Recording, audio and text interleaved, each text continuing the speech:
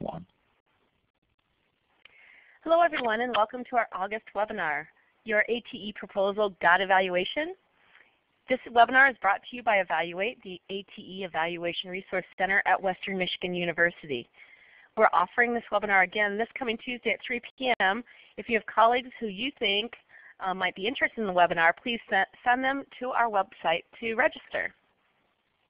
I'm Kristen Martens, and I'll be the moderator for today's webinar. With me here at Western Michigan University in Kalamazoo, Michigan is Lori Wingate, the Director of EvaluATE. Also joining us today is Gerhard Salinger, who after almost 25 years recently retired as a Program Officer at the National Science Foundation.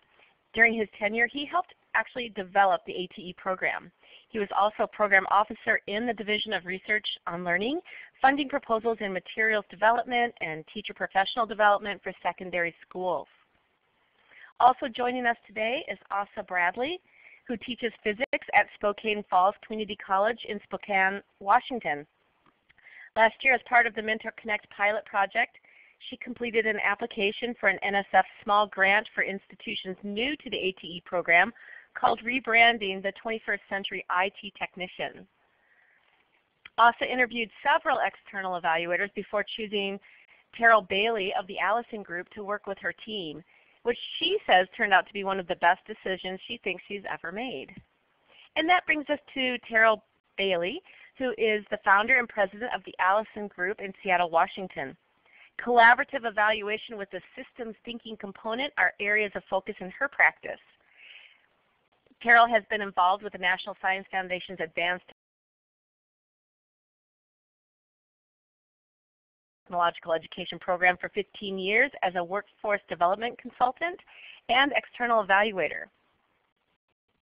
During the webinar, if you have questions or comments that you would like fielded by a specific person on our panel, just note that just note the name that you would like to have answer your question or to pose your comment to, and we'll do so at our question breaks. Behind the scenes, we want to make sure that you know that this webinar um, is running smoothly because we have Mike Lasecki from MATEC at Maricopa Community Colleges. And please note that the views expressed in this webinar are those of the presenters and do not necessarily reflect those of the National Science Foundation. This webinar has been developed specifically for individuals who are interested in developing proposals for NSF's ATE program. And so everyone most likely already knows that ATE stands for Advanced Technological Education. To orient you to the structure of today's webinar, you can see that we're in the midst of introductions and housekeeping because it's highlighted by the red place mark. We'll move next into our panelist tips for a successful ATE proposal. And then the webinar has three main sections. And Lori Wingate will be leading those sections. We'll have check, a check-in with you in the form of an anonymous quiz, and then we'll hear from our panelists again, followed by a question break. So all three of the webinar sections will follow the same pattern. We will conclude with closing remarks and very importantly a chance for you to give us your feedback through an online survey which will be available immediately following the presentation. After that, we wish you the best of luck with your proposal. And if you have questions after the webinar, we invite you to contact us with your questions or continue the dialogue on Facebook. So let's finish up with the housekeeping, and we'll have a brief orientation to our webinar system. This webinar is presented through Blackboard, and it's clear by the hands that are being raised that many of you are already familiar with Blackboard functions. But for those of you who may be new to the webinar system, this is a screenshot of what you should see on the left of your screen. So if you notice that there's a hand icon, um, to raise your hand, you just click on the icon. Just below is the participants box. This box lists everyone who is attending the webinar. At the bottom left is the chat box. And this is very important if you um, want to ask questions or post comments. You'll do so in this chat box. The presenters will then address them at our scheduled question and answer breaks. So you can post your questions and, and, comments at any time, and I'll keep track of the submissions so that we can address them um, when we do have the breaks. And remember, if you have someone that you'd specifically like to address your question to, note who that is.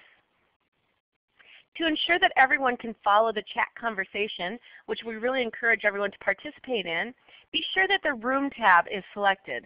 This tab is located below the chat box to the far left. So let's practice using the Room chat box now. So please type the name of the organization that you are from and how many people are viewing the webinar in the room with you today.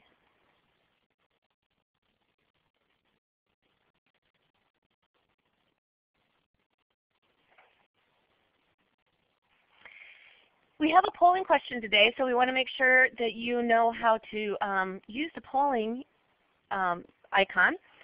And we want to make sure you don't type the answer into the chat box. Instead, navigate to the icon to the right of the hand and select the letter that coincides with your answer.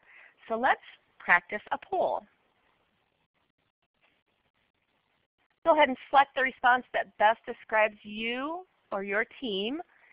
A, if you're submitting your first ATE proposal. B, if you have submitted an ATE proposal before but it's not been funded.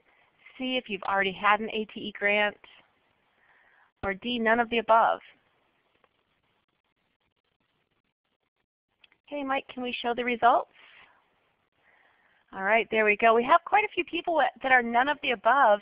And if that's the case, if you get a chance, why don't you go ahead and use the chat box to tell us a little bit about what brought you here to our webinar today. The last tool I want to show you is the marker tool. And to use the marker tool, you first click on the marker icon, which appears just to the right of the, of the participants box. And then you can select the color that you want to use. So let's try that now. On this map, use the marker tool to indicate your location using um, the color that you select. If you're joining us from outside the U.S., make your mark off the coast in the direction of your location.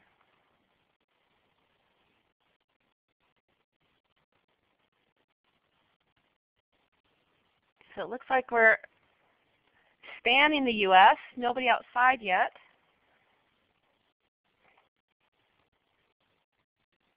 Oh. All right, very nice. So to accompany the webinar, we have created an evaluation planning checklist, which you may want to check out after the webinar. It's on our website now, as well as a PDF of the webinar slides. This webinar is being recorded, and we'll email you the link for the recording when it's available, which commonly takes one or two days. As a side note, if you're viewing a recording of the webinar, you won't see the chat box conversations. By the end of the webinar, it's our intent that you will know what evaluative elements should be included in a proposal and where, and understand how evaluation can be leveraged to strengthen a proposal. Remember, you can type your comments or questions in the chat box at any time, and we'll go over those at the question break. And now I'll turn things over to Gerhard, who will start us off with some advice about developing an ATE proposal. Good morning, afternoon. Um, as as uh, Kristen said, I was a program officer at, in the ATE program for many years. Uh, I've since retired from the National Science Foundation, and I should insist and declare that the views here are my own, may or may not agree with those of the National Science Foundation. There's three, four, a few general comments. One is to be careful to read the solicitation, read it carefully, understand what it says, and make sure your project fits within it. Uh, another important aspect is to demonstrate awareness of other similar work and how you build on it. So many proposals just start saying we have this great idea, but um, that doesn't say where, where it fits in in the general um, scheme of things. I have a colleague who said when she wrote her thesis, when she said she had a really new idea, her thesis advisor would say, you really haven't read the literature.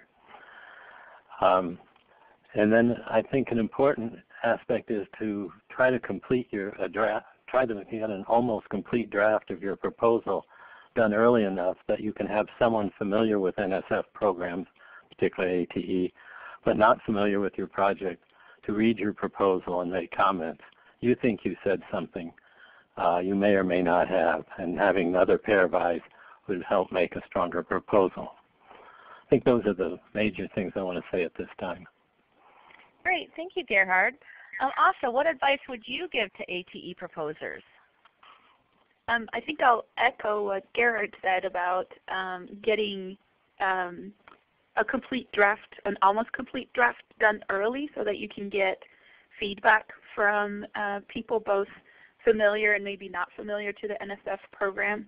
Um, and um, keeping it focused on what the common goal is. Uh, we, when we applied for our grant, did three separate components that that might not seem like they're connected, um, but they were working towards one common goal. And so always keeping that common goal and focus during our uh, project description helped us, I think, um, when it came time for um, reviews and also people understanding what it was that we wanted to, to do. And then getting the reviews showed us where we weren't um, working towards that common goal where it wasn't clear how it was going to, uh, how what we were trying to do was going to accomplish the goal. And then also if you get your draft proposal done early enough, that will really help your evaluator when you go and look for an evaluator to better give you um, feedback on what they can do for you uh, and also how you can, um, what kind of evaluation plan you should come up with, and what kind of logic model you should come up with. Um, and then they can also give you feedback on um, what sections in your project proposal you should massage a little bit to better fit with um, to be easier to evaluate or even being possible to evaluate and then also feed into the evaluation plan so that you get a seamless um, sort of communication between those sections as well. That's what I would recommend. Great. Well, thank you so much, Asa. Um, Carol, what advice would you give to ATE proposers? Make sure you unmute. There you are. Yes, I'm unmuted. Um, thank you. I, I, I guess I would say is, you know, external evaluator is external to the project, not part of the project team, has an arm's length relationship with evaluation. But in the proposal development phase, um, you can think of your evaluator more like a partner, more like someone who can really help to develop the proposal, not just the evaluation section, but the whole thing. As, as Asa was saying, there's, there's ways that um, the evaluator can bring a perspective into the, the whole proposal. Um, and uh, so that's, that would be my starting advice. Thank you so much. And so we'll go ahead and move into um, the first part, the content of our webinar. Lori? Well, thank you everybody. Um, and you know, I think proposal development is a really exciting time, whether you're doing your first one or you have been doing this for many years. It's always exciting to see an idea come to fruition and see a team come together and develop your vision and, and be able to, you know, think about some resources being infused and being able to support what you want to do. So I hope you're excited about it. Um, we're going to be submitting another proposal for our renewal next year, so I'm already thinking about it. And I wish the luck, the best of luck to all of you. And just following on the others with regard to advice, um, I have tried to put everything I have I can offer with regard to advice about evaluation into the checklist that Kristen mentioned. And so that's what we're pretty much going to be going through today. Um, and it looks like this. It's organized by proposal component. It doesn't list all the proposal components, just the section where you're going to need to provide information related to your evaluation. So I'm just wondering how many, we sent this out yesterday to folks who were registered um, as of yesterday morning. I'm wondering how many of you may have had a chance to look this over. Just give me a hand raise if you have. Okay, a lot of hands going up. That's great. Um, I hope you find it helpful. Um, I I actually use it myself. And if you have feedback at any point, you know, just feel free to email me. We're continually improving uh, the materials we put forth. So hope you find it helpful and don't hesitate to ask any questions today about it. So here's the required content of an NSF proposal. And this is according to the NSF Grant Proposal Guide. Uh, the red checks here, these red checks, identify those components where there should be information related to your evaluation. And we're going to be discussing how to incorporate the evaluative elements into each of these sections to strengthen your proposal and hopefully increase your chances for a favorable review. So I'm going to go through these components right in the order that you see them here. But where would we actually want to start in reality when we start our proposal development project? Which of these components? Just use the chat box to let me know what you think.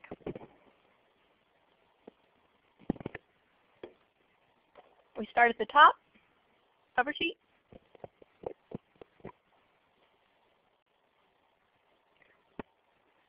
Okay, a couple people saying project description. Yeah, we, we can't necessarily do this in a linear process. We've got to start with our idea. Um, after we get our idea somewhat going, then where would we go? The next most important thing probably. Getting administration to agree, says Max. Good point. Don't want to get too far before you have buy-in from your institution. Joanne says budget. Perfect. Right. So you have your idea, you're developing your idea, but you've got to have a reality check, right, to make sure that you can actually pull off what you want to with the with the resources available. And then of course, as um, Howard is mentioning, get those re references in as you're building your project description. Good points. So the first place your proposal is going to um, have something to do related to evaluation is your cover sheet. And that is automatically generated as you provide answers to questions in the FastLane system. Uh, evaluation is going to show up here in the form of this little box um, which asks about human subjects. See if I can star that right there. If you're going to be collecting information from or about human subjects, or as I like to call them people, you're going to have to um, deal with this by contacting your Human Resources Institutional Research Board. So we're going to call it HSIRB. So you'll check the box. And what you'll probably need to do at this point, um, at, your, at the time you're developing your proposal, is to indicate that the approval is pending if you haven't submitted and gotten your approval yet, which is kind of hard to do when you're just at the proposal stage. But please be aware, you will need that HSIRB approval before your grant is awarded by NSF. So you don't want this to catch you by surprise when you first hear from NSF that it sounds like they're going to um, support your proposal, but they need your IRB. So get the ball rolling on that as much as you can in advance. But you can just indicate pending at the time of your proposal. So next is a project summary. This document is going to be used by NSF program officers to determine how to group the proposals they get and assign them to reviewers. So you want to start off with a really strong, really clear and specific statement about what your project's about, who it's going to serve. Um, in fact, you might want to try just to put all that right in the first sentence. Make it easy on those program officers. Tell them what your disciplinary focus is, who your audience is, and what are your main activities. Get it right there up front. Basically, in one page you need to provide an overview of your activities, like I just said, um, and importantly, statements about your pro proposal's intellectual merit and broader impacts. So if you've been around NSF for a while, you've heard those terms and you're kind of familiar with them probably. If you haven't, you want to do a little more research on your own to figure out what they mean for your project. And also um, those are the main review criteria, but there's lots of sub-criteria under those. And you probably can't address those all in a one-page document, so you want to focus on the ones that are going to be the most relevant to your project. So if we boil it down, intellectual merit is really about, and this is NSF's definition, the project's potential to advance knowledge. And broader impacts is about the project's potential to benefit society, make the world a better place. And you should also be aware in the ATE program has some specific sub-criteria that's related to evaluation. For example, they ask, is the evaluation plan clearly tied to project outcomes? Does the project provide for effective assessment of student learning? Is the evaluation likely to provide useful information to the project and others? And similarly, under broader impact, will it communicate the results to others? And so the fact that the ATE program has incorporated evaluation concerns right into its review criteria, that should be a strong clue to you of how, just how important it is to your proposal. Okay, so it, in this list of components, next is the project description. And this is that 15-page narrative that really makes up the bulk of your proposal. And you have a lot of ground to cover in these 15 pages. Basically what I have listed here are the key elements that are going to go in that 15-page project description. There's two places where evaluation needs to figure prominently. And that's results of prior support and of course your evaluation plan. So let's look at results of prior support first. So basically the rule is if the PI or the co-PI on the proposal you're developing has received prior funding from NSF and it's related to the current proposal, you have to start the project description with the section titled results from prior support. And you can see from this quote, um, NSF expects you to describe your previous project's outcomes and results. And reviewers are going to be looking for evidence of the quality and effectiveness of your prior work. The NSF Grant Proposal Guide says this section should be organized under two main headings, which again are intellectual merit and broader impacts. And this is where you're going to provide your results, your evaluation results from a past project if you had one. So keep in mind that not all of the evaluation results may be considered equally uh, compelling by reviewers, so you might need to be selective in what you report and give priority to those higher level impacts. For example, if you have data on student outcomes, that's going to be more interesting, more compelling, more convincing than, for example, if you have data on your website hits or satisfaction rating, something like that. So I have a little exercise. I want you to put yourself in the position of, of, a, of a proposal reviewer at NSF.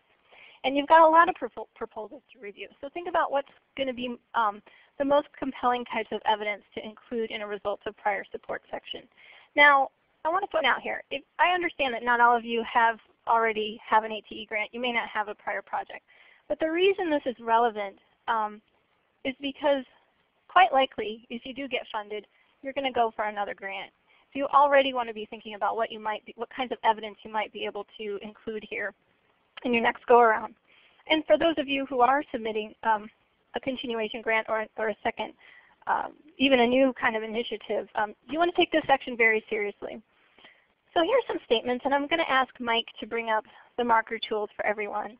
And I'd basically just like you to take a moment to read each one and indicate if you think the statement would be compelling to you as a reviewer as evidence of a project's intellectual merit and broader impact of previously funded work. So if you think yes, you can mark in this column here. And if you think no, you can mark here. You can just use your markers just like you did on the map. So I'll give you a moment to do that.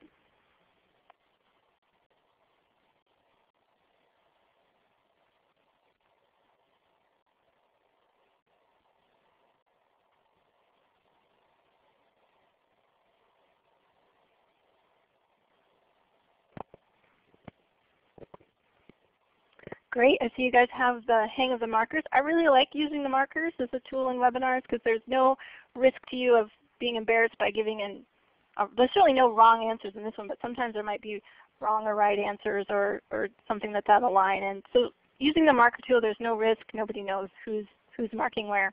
So let's think about each of these. Okay, first of all, the project prior project achieved all of its goals. So this is a statement I would put in my results of prior support.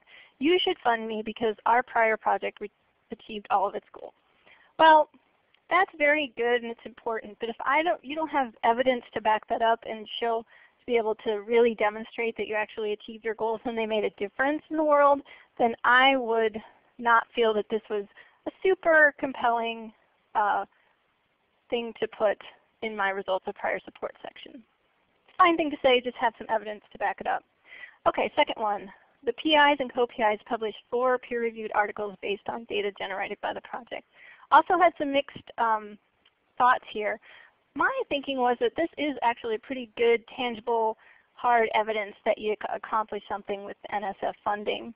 Um, and in fact, listing publication is it is asked for in the results of prior support section.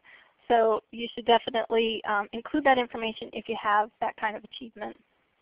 Third one, the project developed three lab manuals and provided faculty with professional development and served 125 students. And we have somebody I think was impressed with the numbers there. Um, so this is good, but and this would be an, definitely an important thing to report. But I would also want to push things a bit further and say, okay, so what happened as a result of all this work? What did the faculty do with that professional development? What difference did this make for students?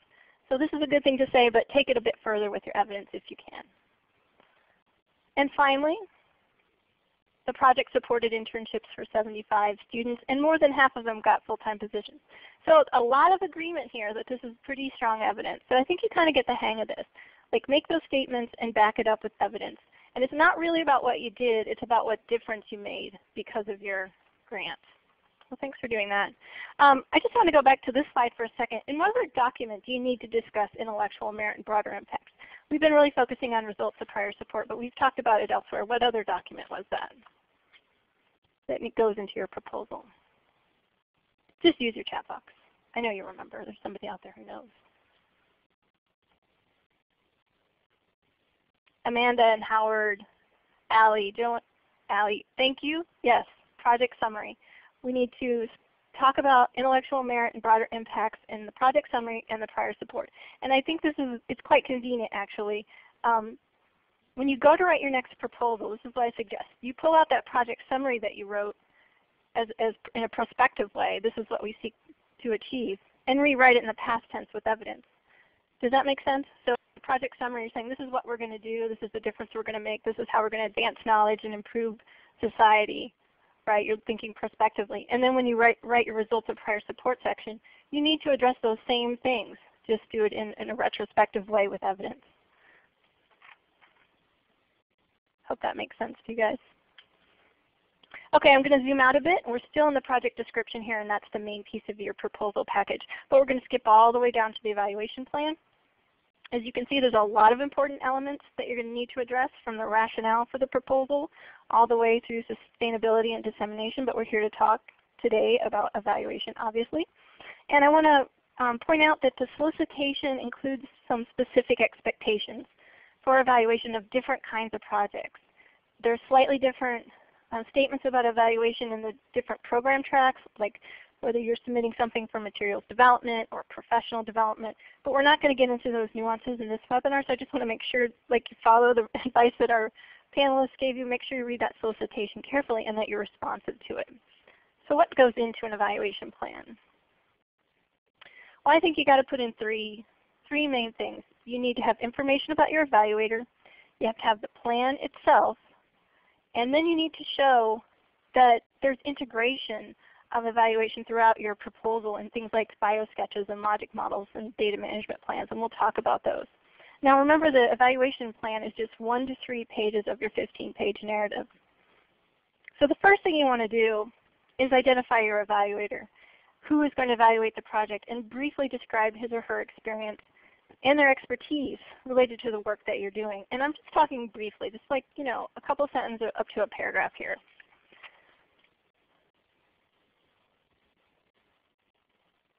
So the ATE solicitation does specify that the funds to support an evaluator independent of the project or center must be requested. So a common question that proposers ask is, well, how do I find an evaluator? It's not like there's a listing of them in the yellow pages, which is totally true. So how do we find an independent evaluator? Well, your best resource may well be other ATE PI's recommendations, a good bet is to ask a center PI. Those are the larger grants. They tend to have more experience with evaluation. And you can get a listing of all the ATE centers and the PIs from the ATE central website, and that link is on our checklist that we mentioned. Um, the American Evaluation Association also maintains a national directory of evaluators, and it's conveniently searchable by keyword and region. Um, those links, again, are on, in our checklist. Wherever you are, you may not be all that far from a large university, and you can just do a little asking around to see if they have a, a research center or an institute that may engage in evaluation work. But remember, these sources are just going to provide leads for you. Just because an evaluator is in a directory or is recommended by another PI, it doesn't mean they're necessarily the right person for your project. You have to determine that person's qualifications and fit for your project for yourself. Um, in just a little bit, we're going to have um, our panelists come on again, and Asa's going to share with us about how she located and selected her evaluator, Carol, who's also a panelist with us today. So on that note, I just want to do a quick check-in about where we are in our webinar today. Um, we're about to do our first little quiz, which is also going to be anonymous, so no stressing here. And then we're going to hear from our panelists again. And after that, we have our first question break. So if you have questions or comments, um, please go ahead and type them in the chat box now, and then Kristen can kind of keep track of them and be able to present them um, at our break. So for the quiz, we're going to use the marker tool again. So if Mike could make those available. So this is a true-false question. Um, you're just going to use your markers to circle the answer you think is the best one. So HSIRB approval may be submitted to NSF at any time as long as it's before data are collected from human subjects. Is this a true statement or not true?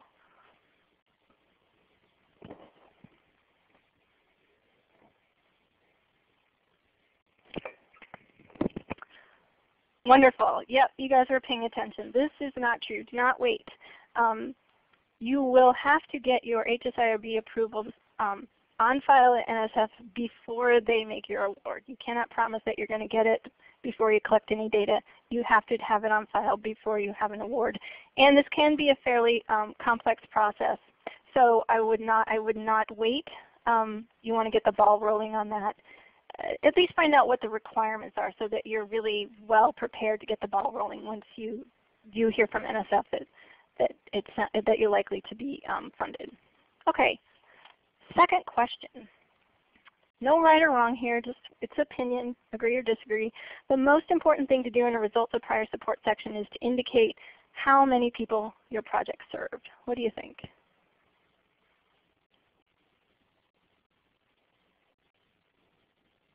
Okay, pretty much unanimous uh, being disagreeing there. Yeah, it's certainly a good thing to mention that, but you do have to push it farther and I would not say it is the most important thing. You always want to think about you know, not just what you did, how many people you reached, how many this or that uh, you generated, but what difference you, you made. Okay, final question. NSF maintains a directory of approved evaluators on its website.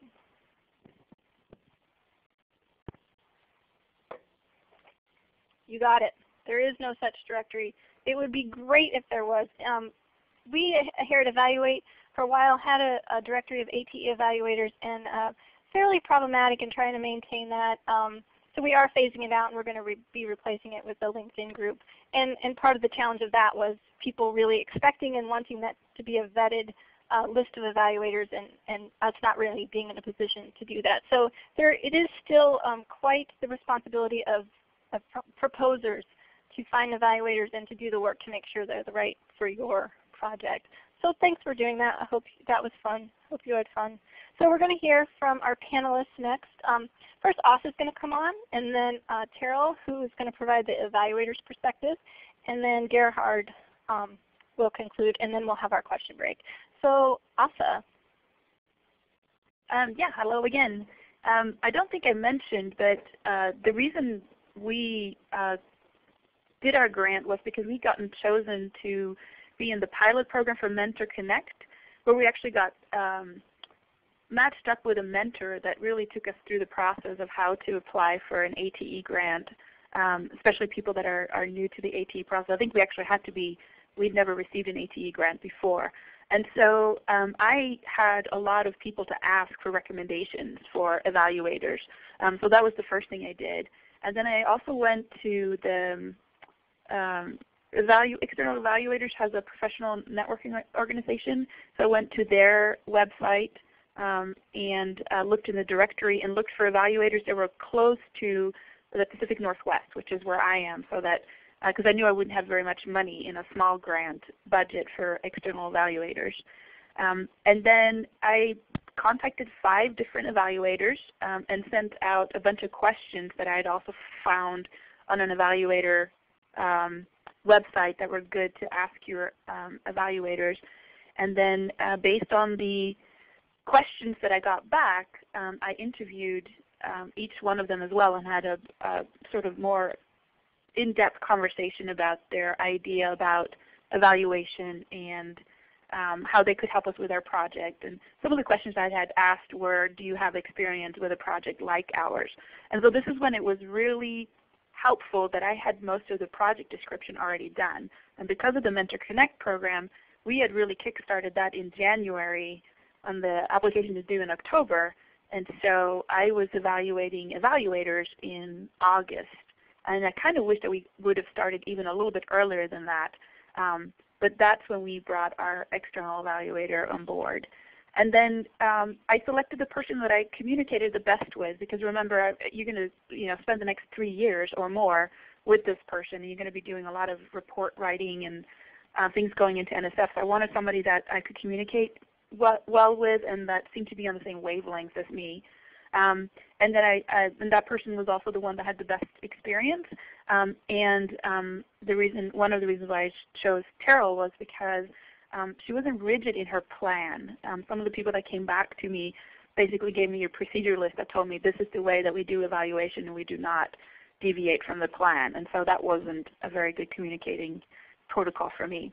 Um, so I contacted Evaluation in August. The grant was due in October, um, and that worked out fairly well for us. But I kind of wish we would have been able to give Terryll a little bit more time to give feedback on our project description and then maybe also the plan itself, the evaluation part of the plan that, that is. Um, so yeah, that was my story. Thank you, Asa. Let's turn it over to Terryll to see what she has to comment on. Uh, thanks very much, Kristen. So um, I, I was surprised at the number of questions that they had asked when I uh, received the questionnaire from Asa. I knew I knew it was a small project, but they they had a good dozen or more questions, and they were all good ones. Um, so I uh, I answered each one as sincerely and completely as I could, and I also included um, philosophy of evaluation, um, my background with ATE overall, and also my background with IT projects in particular, and also the um, IT skill standards and work I had done with the National Workforce Center for Emerging Technologies here in the Pacific Northwest, which um, of course Spokane Falls had in common with me. So, um, you know, after hearing what Asa just said, it seems like that was what they were looking for. Thanks, Terryll. Now let's hear from Gerhard. Thank you. Um, I'd like to reinforce a few points that, that Lori made. Uh, one of them has to do with the project summaries. Uh, you can picture what happens. Uh, the ATE program re receives some 200, 250 proposals, and one the program officers have to decide in which panel, a panel reviewing a dozen to 20 proposals, depending on how we do it, into which panel this proposal should go and there's a fairly short timeline to do this. So you want to tell the, the program officers right away uh, what your project is about, what's the content, what's the audience, uh, a few things like that so that they can make that decision very quickly. If you start talking about other things and down below you finally get there, the program officer may not have read that far. So uh, this first sentence, I think, is very important, uh, and you want to think about it. Um, the other thing in, in the evaluation, the, the, questions which uh, you, you were asked to uh, respond to were very much what did you do? And if you only say those things in a proposal, uh, the reviewers are going to say, and what? Uh, so they really want to know what's the impact and effectiveness of what you've done. Uh, increase student learning, uh, uh, faculty taking from, from workshops and using them in classes and finding that students learn better. Anything you can get in, in that realm, and that's not as that's harder than just giving you numbers. Um, so uh, you, you, not only want to talk about outputs but outcomes. Uh, another thing I would bring up is that very often you can also uh, use very well an, an, an, internal evaluator who works with the external evaluator, who can, can uh, help design instruments, who can help uh, take the data, do an initial analysis, uh, so the external evaluator in some ways can act like a meta-evaluator. Uh, but that and that I think has advantages both in terms of cost and in terms of, of getting feedback very directly. Uh, I did check a little on as uh, policies on the IRB and the institutional review boards, and uh, what Lori says is absolutely correct. You cannot, the, the, Division of Grants and Agreements will not accept a proposal that does not have a, a, a complete uh, either approval or exemption by the Institutional Review Board. The thing that, that may be slightly different is that you really only need to have in there what you will do in the first year. And so if you're going to take more data in the second year, you may be able to, to postpone that. In fact, you're supposed to have your institutional review board uh, updated every year. And so if a lot of data, more data is being taken in the second, third year, you really only have to say what's going to happen in the first year. I think those Thank are the so questions. Great. Thank you so much, Gerhard. We do have quite a few questions, so um, we'll, we'll uh, go ahead and launch right into them. Um, we have one from Asa from Leslie. She's wondering how did you comply with your college's contracting or bidding procedures while selecting an evaluator? Um, I don't think it. Uh, we had our uh, our college administration. One of the things that we did as part of the Mentor Connect program was really build a grants team on campus and identifying everybody who needed to be involved in the procedure so that uh, people coming after me or after us doing grants would sort of have a flow chart on, on every uh, department and office that needed to be involved uh, within our district. And so I worked really closely with them. And so there wasn't really an opportunity for me to not be in compliance because they were always on board. Um, but uh, if I, and Terryll might be able to answer this question better, but I think she is just part of our grant budget. And so it wasn't an issue in terms of um, our college having to bring her on as a contractor because she is getting paid from our grant, not from the college itself. Okay, great. And there were quite a few questions, Asa. Oh, go ahead. Kristen, can I can I chime in on this because it is apparently is a, a concern in various ways. There is an, an Office of Management and Budget circular for contracts, and it is for contracts. Most evaluators are being hired as consultants or subawards. These are not contracts, and they are reported on line G3 and G5 of the budget respectively. Contracts would be under G6. And if you look at the budget page, you'll see where these are under other uh, issues. The, and, and even in a bidding process, the PI does not have to choose the least expensive uh, proposal uh, if, if there are good reasons not to. Now this is a federal viewpoint, and apparently schools do, may have different rules which then trump the federal guidelines. But proposers should really point out the difference to their sponsored research office about evaluators and and uh, is, is either consultants or on subawards. And if you propose, you review several evaluators and choose one, this may be sufficient to meet the school rule. Um, so the, the OMB is, is a federal rule, but schools do have different rules. Okay, great. Um, then Gerhard, I'm going to launch into, since you just brought up the um, OMB, Linda Meesix emailed a question that I believe you can address. And she says, I've been reading the new Office of Management and Budget, Budget Uniform Guidance and articles describing the changes. And some experts are saying that based on the uniform guidance, you should not be naming evaluators in the grant proposal because you need to have this service put out for bids if you get the grant. Now this is contrary to what NSF and other federal agencies have been telling us, so can you clarify? Yeah, I, I tried to do that in my comment that, that the the OMB circular is about contracts at the federal level and that most projects do not make a contract with the evaluator. It's really just a consulting agreement or a subaward. And so those, those are different.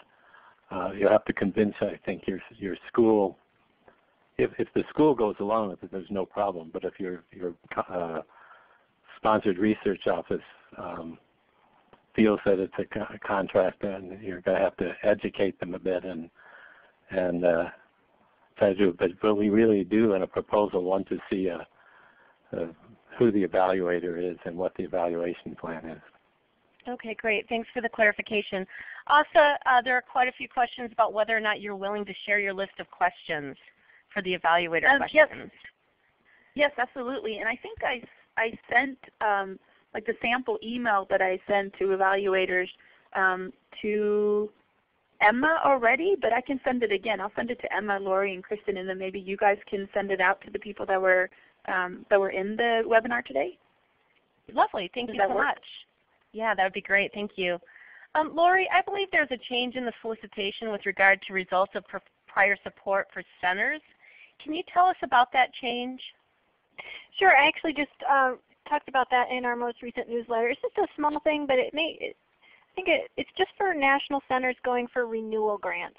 So if you already had a grant as a national center within the ATE program, you now have the option of including your results of prior support section in the supplementary documents. So all other all other proposals have to embed that in the, the 15-page project narrative, and you have up to five pages you can use for that.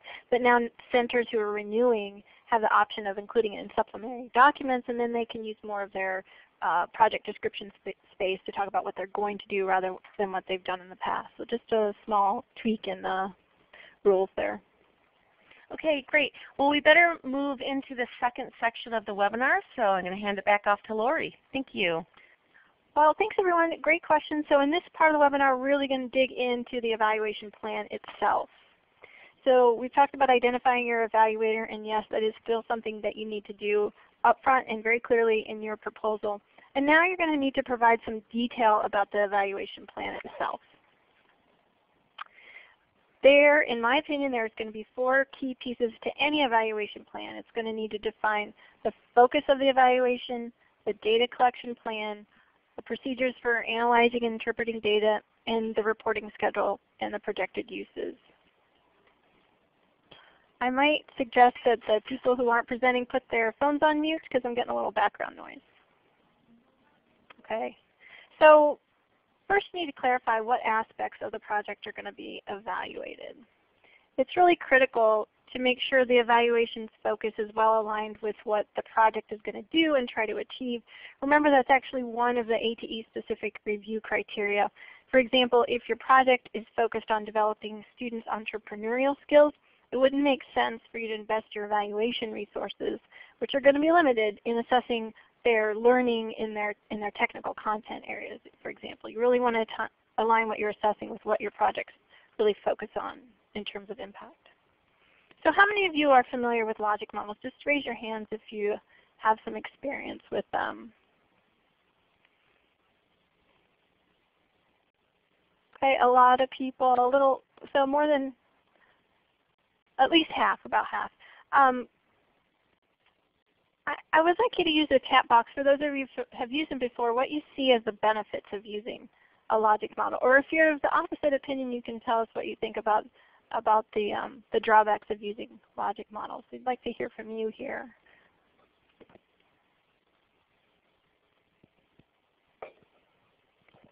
Okay, Samantha is saying it drives clarity on activities and outcomes. Absolutely, that's a point I'm definitely going to be making here. Um, Organization, seeing the big picture in one graphic, definitely. Providing an outline for the parts of the narrative, helping to focus on outcomes. Claudia is saying difficult to get faculty buy-in, good point, but again clarifies for others. Graphical presentation, Kate saying showing alignment, activities and outcomes. So you guys really get this. Um, and you may need to do a little bit, bit, of work to convincing others on your campuses because it does take it does take time to do, but I think they're extremely helpful for both for project design and for evaluation planning. I think they really help to bring the key aspects of projects into sharper relief, or really pop them out and check to make sure that you're actually have logical connections between the activities and the intended outcomes. Also mentioned, you know, that they had three things they were trying to do and it really was helpful to stay focused on that overall goal. And the logic model can help convey that. They aren't required for ATE proposals, but I think they're, um, they are for some other NSF programs. And I do think they can bring value to, to your proposal. It's simply, simply, as somebody else said, a graphical depiction of what your project's doing and trying to achieve and how those things link together there are a lot of different ways to design logic models, and they can get real, you know, fairly complicated sometimes. This, the one that I'm showing you here, is extremely basic. Um, it's for a fictional project we're calling the Green Energy Technology Institute. So we're just going to use this example in this section. So we're going to, and we're going to look at each component, so you don't need to worry about taking it all in right now. So we'll start with the activities column. It's not unusual for logic models to start with the inputs, basically the resources that are brought to bear on the project. I I um I think that's fine, but I I would make it worth your while. Like if you're just going to put college faculty and NSF funding and advisory committee, that's probably not the level of, of detail that's going to be helpful for understanding what you're doing. Um, so I'm starting with activities. In this column you want to convey the main things you're going to do with your grant dollars. And here in this example we have things like workshops and lectures and dissemination. This is the doing. I find it useful to include outputs. Not everybody does in their logic models. These are basically the tangible things that are going to be generated by the project activities. These are things you can see and count and document quite directly. For example, here we have the faculty have participated in training. We have a set of modules. We have a model curriculum. For your short-term outcomes, you want to identify what's going to happen as a direct result of your project's activities. I like to make this column about changes in knowledge and ability, um, basically what your project's beneficiaries, whether it's faculty or staff or whomever, what they should know or be able to do as a result of the work that's supported by your project. They don't always line up that way, but that's, that's where I start with mine. So at the next level, midterm outcomes, you want to show how you're meeting that need that you identified early on in your proposal's rationale. We didn't talk about rationale. We're not going to in this webinar, but you do need to make a case of why your project is needed. So in this example, um, we have more students entering green energy technology careers and employers hiring graduates. So presumably in our proposal narrative we would have said that we know this is something, there's a, there's a need in our, in our discipline, in our region for this work. And at the highest level here, there should be a really clear linkage to the purposes of the ATE program. You're not going to be able to bring about these changes all on your own necessarily, but you should be able to demonstrate a logic con connection with what you're trying to do and what, what the ATE program is trying to do nationally. And this is a good way I think to reinforce your project's alignment and fit with this program. As you know, it's a lot of work to put together a good proposal and it's a shame if you submit to a program that doesn't fit your project or if it fits but reviewers just don't see how it fits. You want to be real clear. And, this, and I think the logic model can help you do that.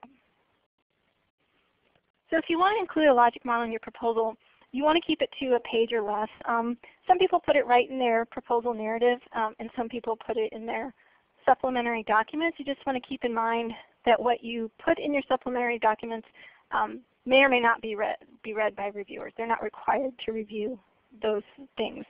Um, so again, this is a means to visualize and communicate really the key aspects of your project and how they're fitting together in a cohesive package.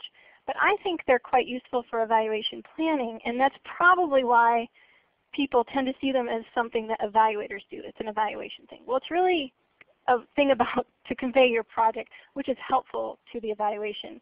Um, and I think a good place to start is to think about the general types of questions that could be asked with regard, evaluation questions, the questions you're asked that will drive your evaluation with regard to each of these levels. So I think it's helpful when we think about focusing the evaluation to go through each level of the model and sort of think about the questions that you might want to ask about the quality and impact of your project. So here's some really, really generic examples. At the activities and outputs level, um, you want to be able to answer questions about who you reached, what they thought about their experience of the project, what the quality of the utility of the project's activities and projects are, products are. And this is largely accountability kinds of information. It's really important to have this, but the evaluation shouldn't stop there. For short-term outcomes, the evaluation should determine how the project affected participants' knowledge, skills, abilities, attitudes, if that in fact was the focus of the way the, the short-term outcomes were articulated.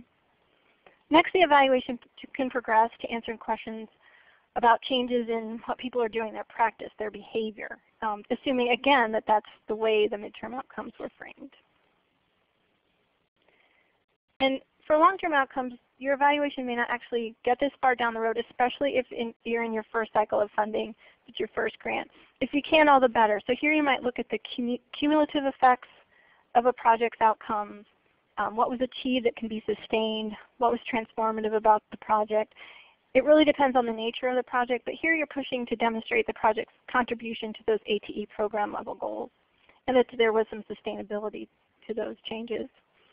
Um, you, there's a lot of things you could look at in an evaluation. You may not have the resources to address them all, so you'll probably have to prioritize uh, what's most important and what fits the stage of your project. And that's really what focusing the evaluation is all about. So again, these were very generic kinds of questions, um, and you'll want to tailor the focus of your evaluation based on what your project's doing. So we're going to try to work through an example together, so get ready to use the chat box. Um, I just put the model up again to give you a moment to reacquaint yourself with what's in it. And then we're going to work on how to map evaluation questions and data collection onto it. Because again, it's all about aligning the evaluation plan with a specific project, not proposing you know, something overly generic with, with your evaluation. And somebody in the chat, I wanted to point that out, talked about um, using the framework as a means to kind of organize your narrative. And that is a wonderful piece of advice. So there, the key piece, the big chunks of in your logic model should also be the big chunks of your of your narrative. There shouldn't be surprises or misalignment in either of those places. So was, whoever said that, thank you. That was a wonderful point. Okay, so let's look at this. Um, let's say we have an evaluation question we could pose um, about short-term outcomes could be like this. To what extent and how did faculty implementation of course modules affect student interest in learning in green tech? Well, first of all, there's a lot packed into this question, I realize. So we will want to unpack it into its component parts, which are what? what are, there's a lot we're asking about in here. Can you just use the chat box to um, kind of pick apart all the different pieces of what's being addressed in this question?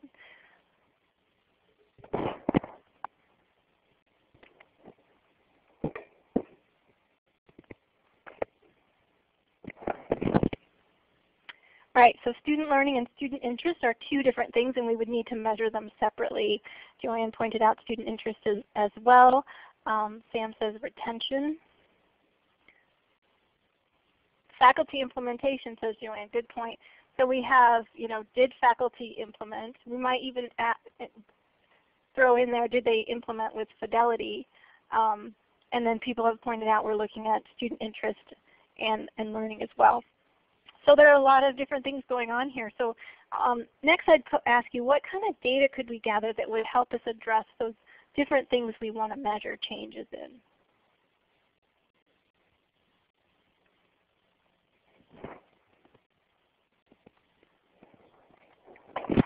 Yeah, think of it in terms of evidence. So M. Fields from Lane Community College says, yeah, survey. That's a great way to get um, information about student interests, process student surveys of students. Assessment, right? John says assessment. If we're going to measure learning, we got to have some sort of assessment to get at that. It's probably better than self-reports, for example. Um, Bob says enrollment. That's even that's a great. That's very independent measure. Good. So you guys you guys get the hang of this. So you'd want to hone in on what your outcome is, frame a question around that, and then really pick apart the kinds of evidence and kinds of data you would need to be able to demonstrate um, change and impact there. All right, let's do it the other way around. Let's just look at this. Um, let's look at midterm outcomes. Here are two we have here for this project. Um, what are some evaluation questions we might want to ask at this level of the model? What would we want to know here?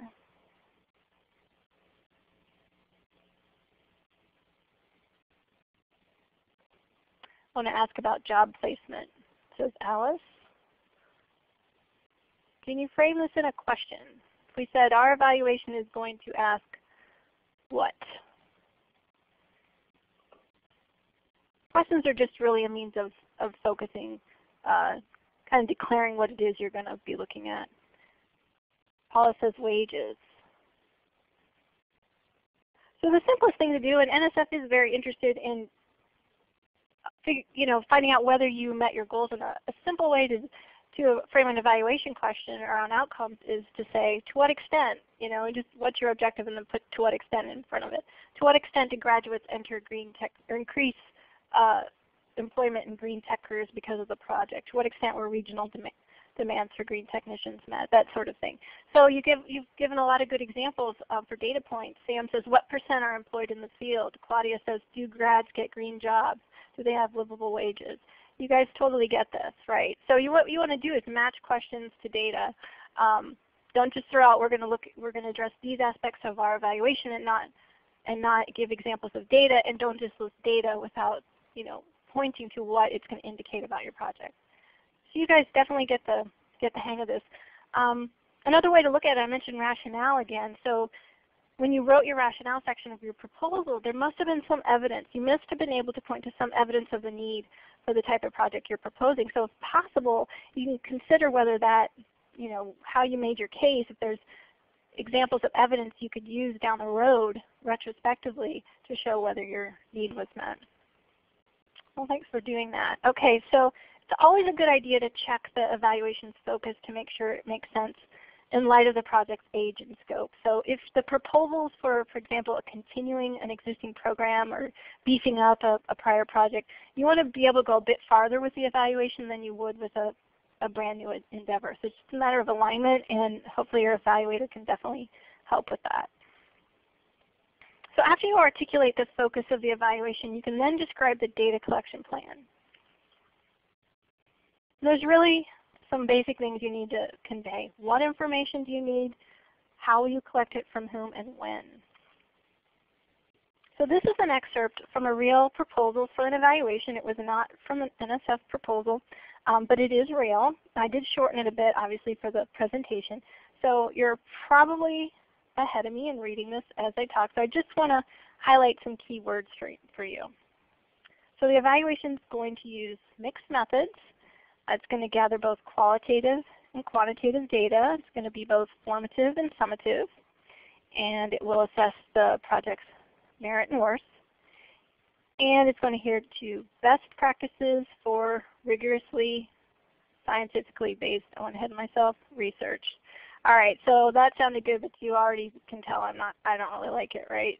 Uh, this is not what you want. This did not provide any of the key information about the what, how, who, and when of data collection that we really need to know. This is a very generic cookie cutter description, and it's likely what you'll get if you're a proposer and you wait to the last minute to engage an evaluator, because they simply aren't going to have time to do something really tailored to your project. So now I'm going to ask you to do a little work here. Again, going to use your chat box. This is a different example of a description of a data collection plan. Um, think back to those four questions. And I'm going to ask you to read this and then I will post you, ask you to answer some questions about this excerpt of a data collection plan. So just take a minute to read it on your own and then I'll ask you to uh, give your answers in the chat box.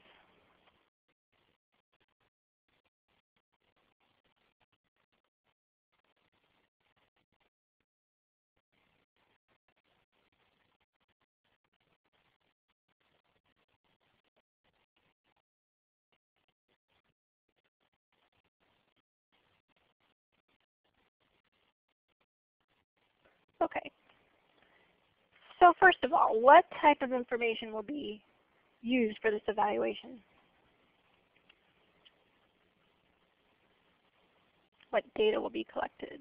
Darlene says qualitative data. Joanne says participant feedback. Katie, yep. Anyone else? Student use of the information. Paula says survey data.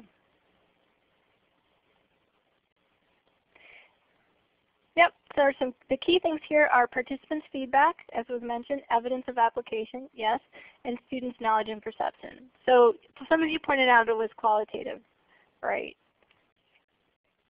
May or may not be qualitative data. We could get participants' feedback in quantitative form, for example. We could ask people to rate the extent to which they applied. Okay, next, how will the data be collected? John's already ahead of the game. Survey, interviews, we're using a random sample. Yeah, it's pretty straightforward here. Surveys and interviews, the key data collection methods. Okay, who are we going, who are the sources of the data?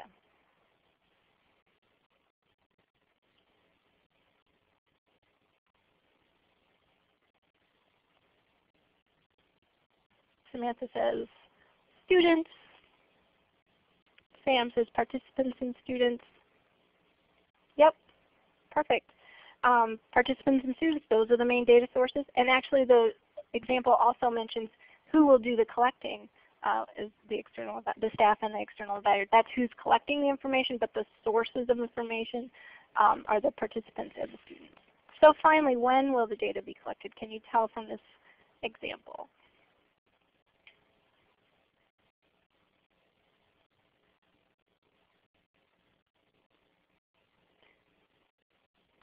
Claudia, end of each semester, end of periods. Yep, you guys got it. It's pretty straightforward, right? You didn't have to guess. Um, it will be collected end of workshop, six months post workshop, and the end of each semester. Now, clearly this is just three sentences from what should be a one to three page description of your evaluation. So it's really just a small example of how data collection, again, which is just one component of an evaluation plan might be described. But you can see even in this little example, we packed a lot more concrete information in about the evaluation plan than that prior example, which was really giving us the buzzwords that make it sound important, but really just gave us no examples of no concrete examples that of, of what data would be collected or how. So here's an alternative way to present the same information. Um, it's pretty efficient. It's a matrix. And you can see that here we've aligned everything up with our project goal and then we have our evaluation question which is aligned with that goal. Then we list the indicators and these are just the pieces of information we're going to collect.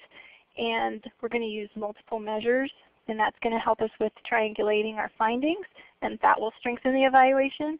And in the next column we've specified the sources of data um, that we're going to use related to those indicators followed by the timing. And there, I know there's a lot on this slide, and these slides are posted on our website. So if you want to review this more, um, more leisurely, you're welcome to do that later. So just some tips for putting together an a data collection plan. You want to think about it in terms of building a body of evidence using multiple sources, including both quantitative and qualitative data. It's great if you can embed data collection into regular project activities. If you need students to do a survey, for example, you can, if you can just have them do it as part of the class rather than tracking them down later, that's great. Um, if you can use existing data whenever possible, that's always advisable. Get to know your institutional research office staff. Also mentioned pulling a team together on campus, and that would be a key player to get on board if you if you can utilize those data. And use use use existing instruments if you can, if they match your needs. That will save you a lot of time developing and validating new ones. So just a bit more here on evaluation plan. Um, next we'll talk about analysis and interpretation. This is really about how you're going to make sense of the data, what sorts of comparisons will be made, what counts as success. Analysis and interpretation tend to get lumped together, but they're really different things. Um, analysis is organizing, transforming, and describing data very basically. An interpretation is making sense of the analyzed data so those conclusions can be made about a project's quality, its progress, its impact, whatever you're, however you're focusing your evaluation. And interpretation requires some sort of comparison. Um, earlier we had, we had the example of 50% of interns obtaining full-time employment at their internship sites. So what else would you want to know to determine if this is a good result or not? What could what could we what could we put around that percentage to help us interpret it? Use your chat boxes to tell us what you think.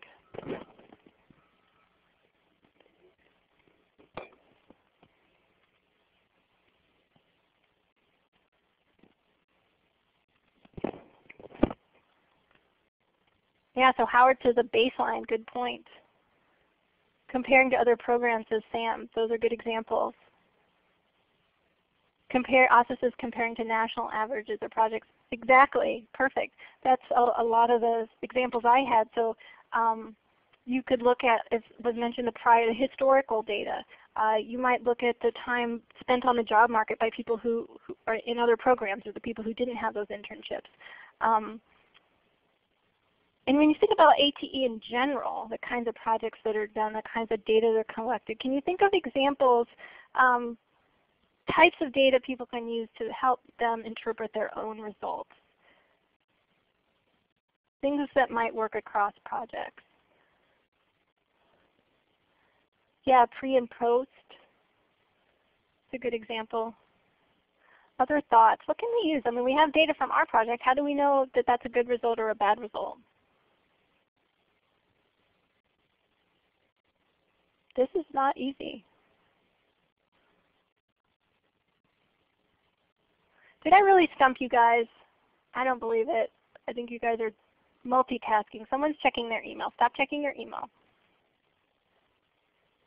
Predetermined criteria, right. So we can look at um, things like as simple as we set a project target. We set a project target. Um, did we reach it? Did we um, how does our data compare nationally? How do other sites do? Something to bring meaning to our data points and help, to, help us make sense of it. So finally, you should touch on reporting and use of findings. And remember that one of those uh, ATE-specific review criteria is about are you going to make the results available? Are you going to learn from it? Will you share it with others? So keep that in mind when you think about reporting. You at least need to describe in your um, evaluation plan what types of reports will be developed and when and how the results will be shared. And you'll want to keep in mind here that you'll need to provide information from the evaluation in things like your annual reports to NSF, your annual survey of grantees, your reports to advisory groups. I want to point out here that there is a lot more information about how to align your project scope with your evaluation and any research components you may have. Um, in this document, the Common Guidelines for Education Research and Development, they're developed jointly by the Institute for Education Sciences released about a year ago. And it provides a lot of information about the different, different levels of development and research and the kinds of designs and evidence that are appropriate to each level. So I just want to emphasize here, check this out on your own. It's not a really long document. It's, uh, if you Google the name, it's the first thing that comes up. Um, and we'll also send you a link when we follow up to the webinar. So we've, we've talked about result to prior support and the evaluation plan. And I want to just mention sustainability and dissemination. We're not talking about them in this webinar, but if you go to the, um, our website, there's a, web, a clip from a webinar from last year, the ATE Central, presented on these issues as well as social media, um, data management, and that kind of thing. So we encourage you to check it out. So we're coming up on our next uh, little check-in quiz, so get ready to use your markers and have a little fun. Uh, and then we'll hear from our panelists and have another question break. So it's best if an evaluation includes both qualitative and quantitative data. What's your opinion about this?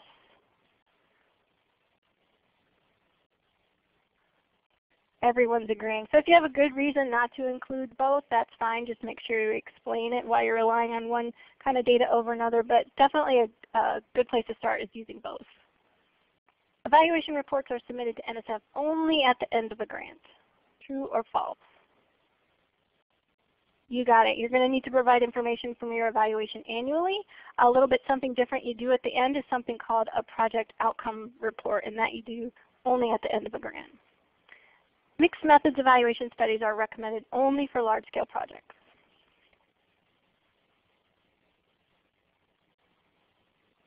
False. Very similar to the qualitative and quantitative. If you can use multiple measures and methods, it's definitely going to strengthen your evaluation. Okay, I want to move on to our panelists. So we're going to hear from Terryll first. Uh, she, again, she is the evaluator for Asa's newly awarded project. So Terryll? Thanks, Lori. Um,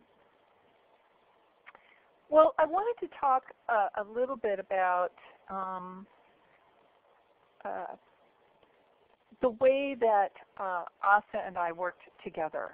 Um, and uh, we had a number of conversations along the way as we um, worked together for the evaluation section of the proposal. And also, I, I think I should have said before that when I talked about my philosophy of evaluation, I have a strong collaborative model that I use, which means really, um, really clear communication and really being on the same page in terms of what's what's the project about.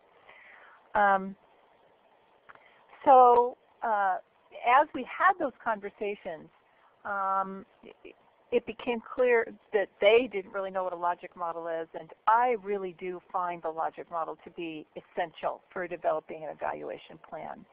Um, and so once we were far, enough along, I developed an initial draft since um, the, that team really wasn't familiar with it. But then Asa and I talked it through, and we made changes together to clarify uh, what what the project was really about and to make sure that we were really clear, especially about outcomes and impacts. Um, and uh, I think John mentioned this uh, uh in the, earlier in the uh, webinar in the chat box, but in addition um, to providing the basis for an evaluation plan, it, it, it can also highlight strengths and weaknesses. Um, and really look at the theory of change. What is our theory of change, and is it um, is it logical? Is it consistent? And is it compelling? And then the grant team can use weaknesses that we find, um, gaps in thinking to then strengthen the proposal, which is really how that worked for us. Great, thank you so much, Terryll. Let's um, turn it over to Asa for her thoughts.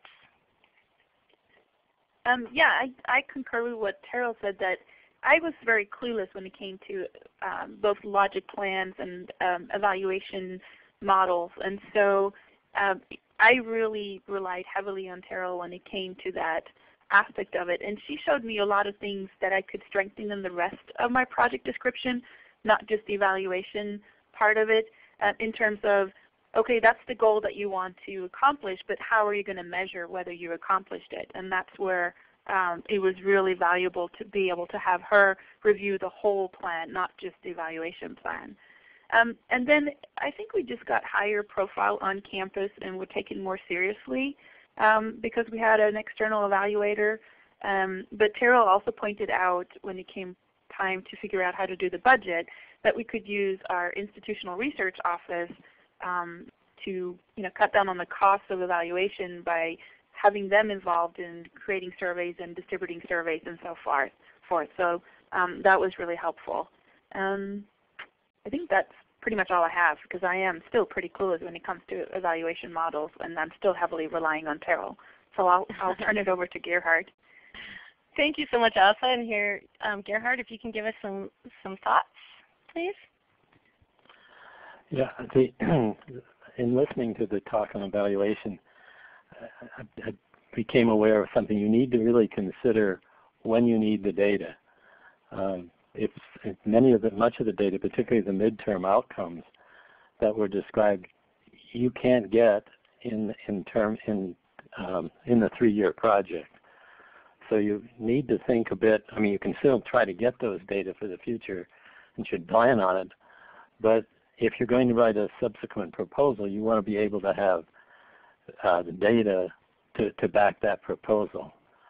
So um, you need to think a bit about what data you need at what time. Uh, I would also push the alignment with the goals, that is, uh, particularly the evaluation should be tied to outcomes. And if you have something in your logic model and you're going to evaluate it, say so and, and say how. You don't have to evaluate everything. Uh, I think you, you can make a case. Uh, and again, this use of instruments, um, everybody seems to be developing their own instrument. It may be useful to talk to somebody else in the program, and the AT program is very collaborative, uh, and find out what instrument they used. Uh, in other programs, uh, or, you know, the people say, well, I'm going to use released items from NAEP or some other national exam. But then the, the methodologists come back and say, well, what's the reliability and validity of your assessment that's only that's using these released items? Released items have been proven reliable and valid, but in that context and not in your context. Uh, I guess I would push a little harder on on the uh, common goals for educational research and development. Uh, it talks about types of projects and the appropriate evaluation um, and research uh, for each of these projects and what questions you should ask. Too often people are trying to give evidence of causation where all they can do is give evidence of, of promise. So if you ask a question and or state your question in such a way that you're you're showing promise that something will happen rather than causation, uh, you it, it, I think lowers your your evaluation research um, rig, uh, rigorousness. Thank you, Gerhard. Um, let's go ahead into some questions. Lori, Matt Swinton is wondering, um, he had a question about how much space, given that there's limited proposal space, should the evaluation plan, what, I guess proportionally, how should the evaluation plan focus on different elements from the logic model in, in terms of short, midterm, and long-term outcomes? Well, you know, it really depends on the scope of the evaluation and how prominently it figures in, in your project. But um, you know, you have one to three would be a lot. I was, I'm recommending one to three pages for the evaluation, and it really should focus on what you're, what questions you're posing and what data you're using. So, I mean, I can't give you a hard and fast rule there, but you know that the data collection plan is going to be the bulk of your of your evaluation plan, and probably one and a half to two pages for the evaluation plan is more realistic. Okay, good, thanks. And you know, you had everybody um, so engaged in the actual uh, work and questions you're asking within. We didn't get a lot of questions to pose to our um, panelists. So let's go ahead and move into the third section. Great. So um, we're going to be looking at the more administrative aspects of your proposal now. Um, you know, the, the, hard work is done once you get through the project description really. So you do want to have evaluation in evidence in your references. It helps demonstrate the evaluator's knowledge and competence, can help show how the evaluation is grounded in, in and building on current knowledge and practice. And if you're using a specific evaluation approach or instrument, you want to be able to provide citations for that. The evaluator's bio-sketch should reflect um, their past experience in conducting project evaluations. You want to use the two-page NSF format for bio-sketches, which looks like this. Um, you should actually include it in the supplementary document section because the FastLane system for uploading bio-sketches is for senior project personnel actually. Of course, the budget and the budget justification is an important part of your proposal, so you definitely need to have a line item for evaluation here.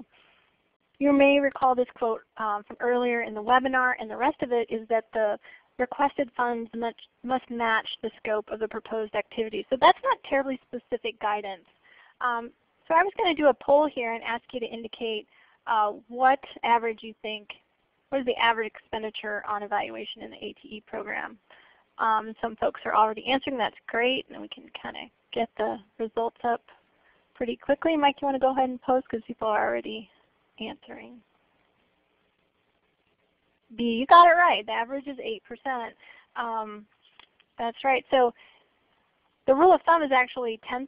That's just in general in evaluation. We kind of start there and go up or down depending on what's needed for the evaluation. But in fact, in reality, in the ATE program, it's 8%. So that's kind of a benchmark for you. So what goes into the budget? Well, the main costs are going to be time, travel, and materials. I mean, no surprise there, right? The biggest expense is time and travel. Really here for time, you need be able to articulate how many days the evaluator is going to need to deliver the what you need in terms of services and, and deliverables. And the evaluator is going to need to provide um, their daily rate and the number of days in your budget. Travel, you want to think about, do you want them to come to the PI conference, for example, committee meetings, special events? Will they need to travel to collect data? Do you want to meet in person to discuss the evaluation? You want to be realistic about travel costs because um, it can be quite expensive at times. If you can find somebody local, that can help you save money as well. I want to point out here, for, if you're doing an evaluation as a consultancy, and Gerhard mentioned this earlier, um, you're going to describe the evaluation costs in the budget justification section under in other direct costs category. So you'll want to explain the evaluator's daily rate, their time committed to the project, travel, and materials. Now if you're doing it as a subaward, you will have to have the evaluator prepare a detailed budget um, and separate budget justifications, just like those done for the primary project. And you'll use um, they'll use NSF's budget template for this, which you can download from Fastlane. So that takes us all the way down to supplementary documents. What goes in here? Well, you'll need a commitment letter from your evaluator demonstrating they are committed to work on the project, they're able to do it. Um, you'll put the evaluator's bio sketch here as I mentioned, and you must include a data management plan. Data collected as part of the evaluation should be addressed in the plan as well as any other data or products generated by the pro project. Um, I'm not going to go through the elements of the data management plan. Again, I suggest you go to our website and view ATE Central's video on this um, from last year's webinar, and in our most recent newsletter we have uh, a, a, a small article with links to lots of tools for this. So here we are at our last very quick, fun check-in quiz. So you already knew this, so why, why, would it, why would we even answer this? You already know this is there is no requirement. Um, you just have to match it to your scope, and 8 8% is really just a benchmark. Okay, can you report your budget either as a lump sum or broken down by cost category for evaluation?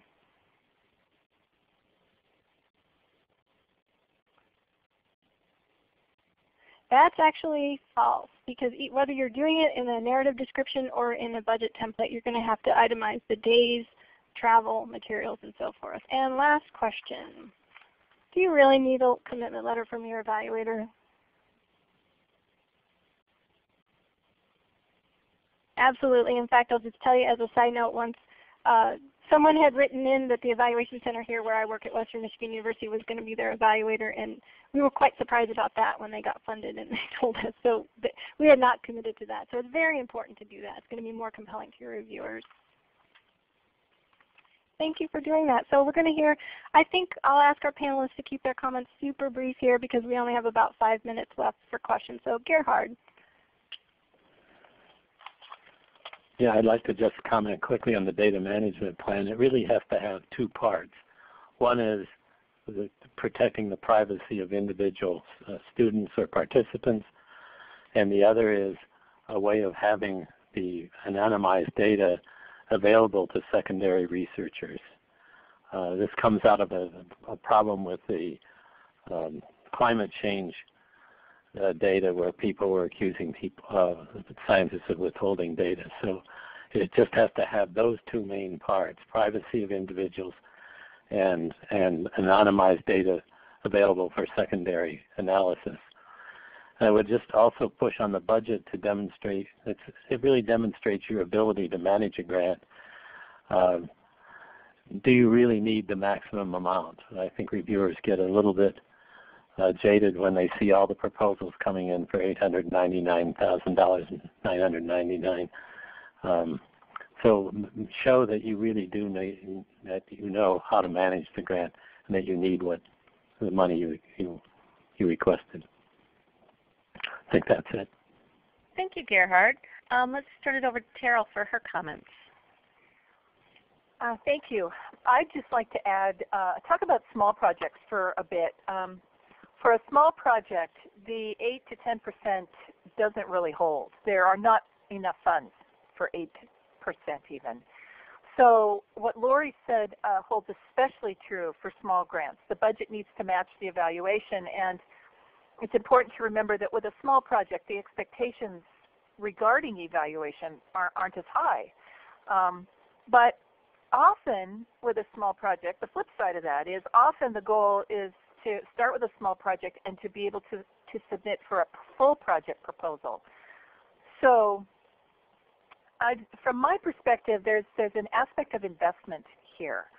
So uh, the 8 to 10 percent doesn't hold um, and it needs to match the budget. But on the other hand, sometimes we need to get the data in order to um, be able to prove the value of the project for future project uh, proposals. So um, intentionally, we may do more evaluation than the budget might reflect. And again, that's that investment piece. Thank you, Terryll. Let's turn it over to Asa yeah, I think what Terryll said, the fact that we're you know getting a small grant means that you're probably gearing up to a larger grant. Um, so putting the evaluation plan in place so that you can um, increase the scope uh, was a big part of our planning part, and also something that Terryll uh, you know informed us on. Um, also, in terms of the supplemental documentation, we put a very detailed logic model in the supplemental docs as well, but made sure that we also had um, a, a, sort of more broader picture view in the project description since reviewers don't have to read the supplemental documentation but do have to read the project description. Um, so that was one tip that I would probably um, put in as well. And that's all I got. Thank you so much, Asa. And um, to respect your time, we just want to do a few um, slides for our end matter and get you over to our survey. Please visit our website where you can learn more about um, past events, new events coming, search our resource library, use our evaluator directory, download your quarterly newsletters, and access information um, from all of our past webinars. Come join us on all of our social media channels. And we're offering this webinar again on Tuesday, August 26th at 3 p.m. So invite your colleagues. The um, next slide will launch into our survey, and when you complete it, you will be taken to our Facebook page, where we would really like to encourage everyone to post your reactions to this webinar. So it may come as no surprise that evaluation is really important to us here at EvaluATE, and we'd like your feedback on this webinar, as well as your ideas on topics that you'd like us to address in future webinars. This survey should be up now on your screen, and it will take you just a minute or two to complete. And after spending 90 minutes focused on evaluation, how could you not take the survey, right? So we'll leave the screen open. Moderators, remember, don't close the survey window on your screen. And while you're working on the survey, we'd like to thank you for the, your participation in today's webinar. Gerhard, Carol, and Asa, thank you for sharing your wisdom with us today. Lori, um, thank you so much too. And behalf, on behalf of our entire EvaluATE team, we um, appreciate you being with us and hope you have a great day. Thanks so much.